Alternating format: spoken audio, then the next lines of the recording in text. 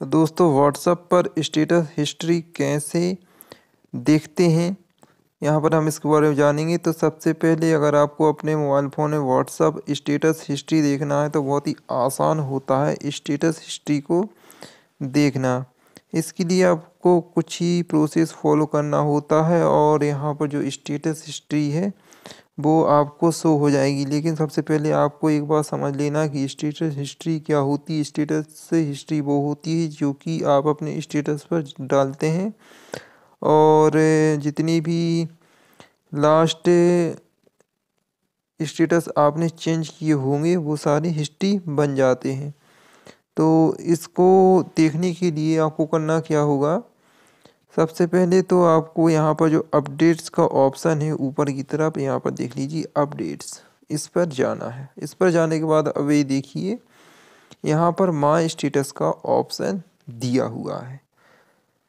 तो अब इसके बाद यहाँ पर आप देखेंगे तो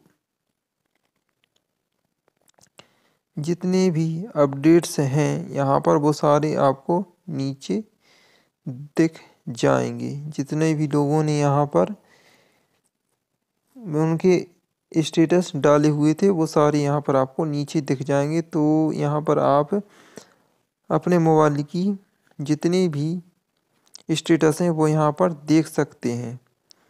और इसी के साथ जैसे कि आपको अपना स्टेटस देखना है कि आपने अभी तक कितनी स्टेटस या फिर कौन कौन से डाले हैं तो उनको देखने के लिए यहाँ पर कोई भी ऑप्शन नहीं दिया गया है।